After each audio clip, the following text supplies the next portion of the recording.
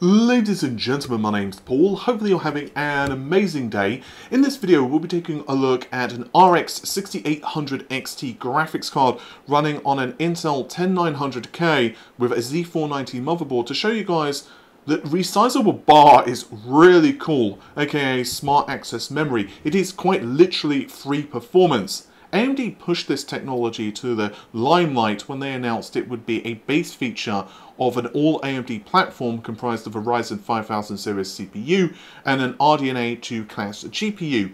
And then NVIDIA and Intel quickly scrambled, starting to uh, release press statements that they can actually do this as well, but also, of course, supporting this feature.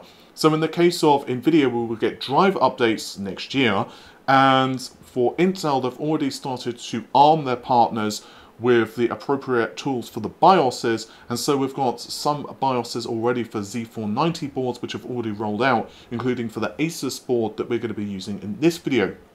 But what exactly is Smart Access Memory slash resizable bar? I go deeper into this with the accompanying article of this video, so if you want to check that out, it is of course linked in the video description. But the gist is that this feature is part and parcel of the PCIe specification. Smart Access Memory slash resizable bar you can use as interchangeably, but uh, SAM, Smart Access Memory, is the term that AMD used. It's kind of their PR term, if you will, a bit like NVIDIA will call ray tracing RTX. Anyway, this is basically designed to get around a limitation that has been imposed on graphics which dates back, well, let's say a long time, when address space was at a premium. So essentially when we had 32-bit operating systems and GPUs which didn't have several gigabytes or more of VRAM, it was decided that the system could uh, basically access 256 megabytes of the uh, GPU's memory at a time, which is not awful, but now that we have systems which have absolutely ridiculous amounts of RAM compared to what we had back then, this is obviously started to become a limitation. So now you're having the system be able to access pretty much all of this memory. So you will need to actually update your BIOS for this feature to be enabled on your motherboard. So Z490 motherboards have started to have their BIOSes updated. So you'll need to go to your manufacturer's website, look for your board uh, version, and then obviously see in the changelog, most of them do have it uh, quite easily readable, what they've changed from one version to another, to see if uh, resizable bar slash smart access memory has been enabled on your board, then you will need to download that BIOS and then update your BIOS on the board and then, well, you're good to go. As a quick aside, um, for updating, generally speaking, I just use the BIOS's own utility. It's quick and easy, so just throw it onto a USB stick, reboot, BIOS update, good to go. Um, there are tons of uh, guides out there. If you're unsure how to do a BIOS update, but um, yeah, that's pretty much all there is to it. So let's have a look at how to enable it on an Asus uh, Z490 Extreme motherboard. Uh, I suspect it's going to be very similar across a multitude of different boards. To enable this feature, at least in our particular motherboard's case, which is an Asus a Z490 Maximus Extreme, you'll need to, well, enter the BIOS and then go to the Advanced menu and then next of all click on PCI Subsystem Settings. You will then be given a couple of different options and you will need to enable above 4G decoding and also, shockingly, enable resizable bar support.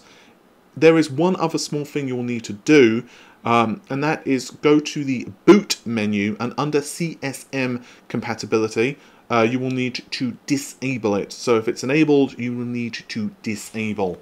And then what I hear you scream? Well that's it. You just restart your system. What it will do is quickly turn off for just a moment and then turn back on and then you can log into Windows and you are good to go. That's all you have to do. You don't need to worry about any uh, settings in the graphics card or, you know, I don't know, like doing registry hacks or anything like that. It's really that simple. It takes just a few seconds to enable it. And the process, by the way, is similar if you have an X... Uh, 570 motherboard for sake of argument. In other words, it's very similar on the AMD side of things.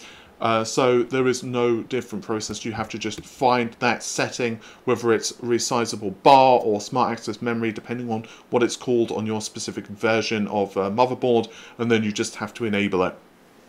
So a quick couple of notes about our testing. We're again using an Intel 10900K. I'm hitting 5 gigahertz across all cores. So basically I've just locked the clock frequency to there. I'm also using 32 gigabytes of memory and again we're using Windows. All of the um, games are on their own uh, SSDs and of course uh, we are also using an RX 6800 XT. This is the reference design. It's actually been sent over by AMD for the purposes of review, so thanks very much to AMD. And uh, as also another disclosure, the Intel motherboard and processor were also sent by Intel when Comet Lake actually launched back in the day.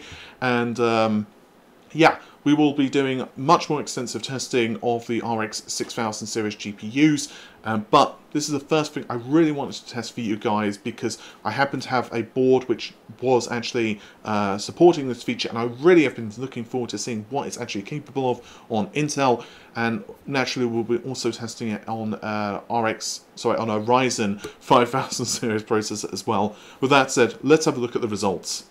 Starting things out with Shadow of the Tomb Raider, 141 FPS goes to 149 in our 1440p results.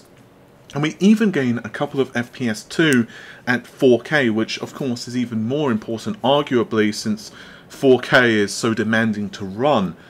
Interestingly, our GPU 95%, which was a statistic they give you in the built-in benchmark, goes from 66 to 70, which again is quite a tangible benefit.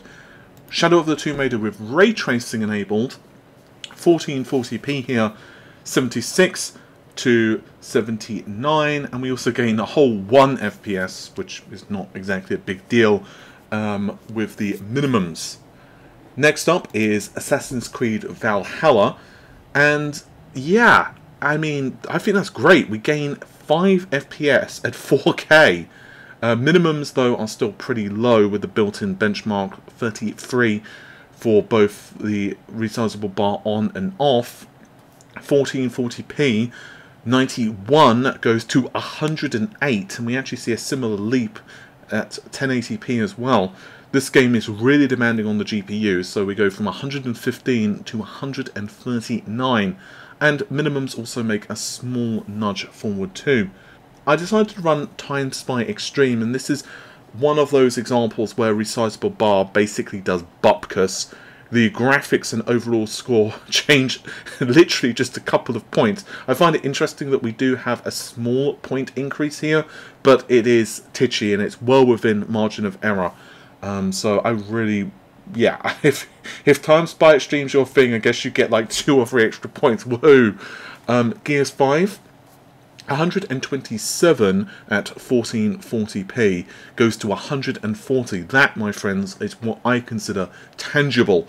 And at 4K 77 FPS, I'm going to round up and down the numbers, of course, goes to 80. So a small, a small benefit, not huge, but you know, not bad either.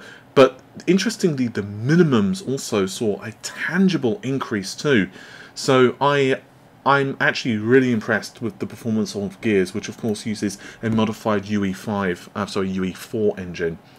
Borderlands, uh, 112 at 1440p goes to 120, and at 1080p 152 to 164, and 4K 63 to 66. So not much of a benefit with um, with uh, Borderlands at ultra high resolutions. At Horizon Zero Dawn, we also have uh, another case where there is no real difference with uh, enabling or disabling smart access memory.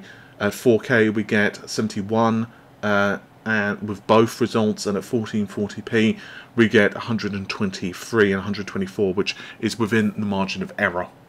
I also did a manual run of Call of Duty Black Ops Cold War at 1440p. I didn't uh, try the other resolutions honestly, but we did gain a few FPS here.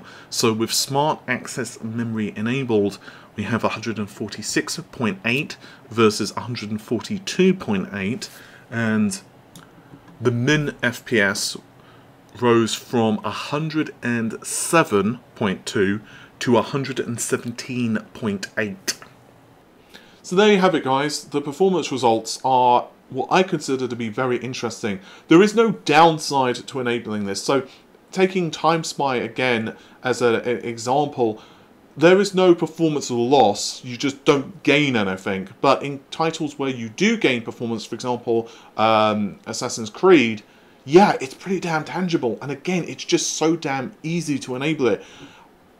I really wish that the industry hadn't waited for AMD to push this. I do understand that the benefit AMD have had is that they do support um, not well create excuse me not just the CPUs but also the GPUs as well as the motherboards which is obviously something Nvidia don't do. They are not producing x86 CPUs, and Intel haven't had discrete GPUs. Well, of course, they're releasing those uh, next year. Well, I guess next year is going to be in a few days from now, uh, as of the time I'm recording this. So that has obviously meant that they have less of a, a, push for this technology. They can't just do it holistically like AMD have, but nevertheless, I kind of feel that we've just been losing free performance all of this time.